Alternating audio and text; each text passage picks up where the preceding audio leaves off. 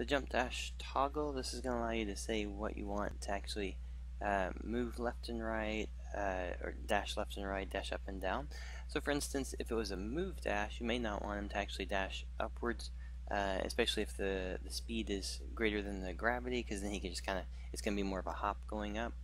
Um, but even for the uh, jump dashing, you may want something very similar where it's like you just want the player to be able to jump dash left and right. Um, so if you were to toggle these off, then when we play this time around,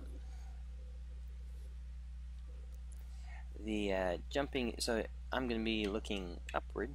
And if I look up, I jump and I try dashing. Notice nothing happens.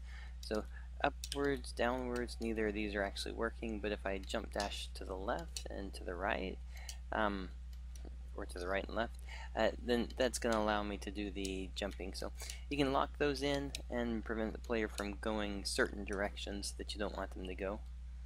Alright,